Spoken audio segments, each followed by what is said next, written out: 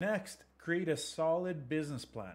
Outline your goals, strategies, and financial projections. This plan will be your roadmap to success in three months, six months, nine months, 12 months, three years, and five years subsequently, depending on how long you want to make this plan out to make it viable for your company. Okay. In addition to this, securing funding is crucial. Explore different options like loans, investors, or crowdfunding. And remember, every dollar counts when you're starting up.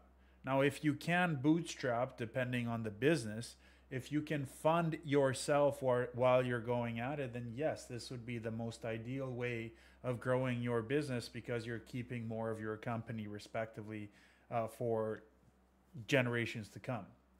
Your brand is your business's identity. Invest in a professional logo, create a strong online presence through social media, and engage with your customers on these social media platforms.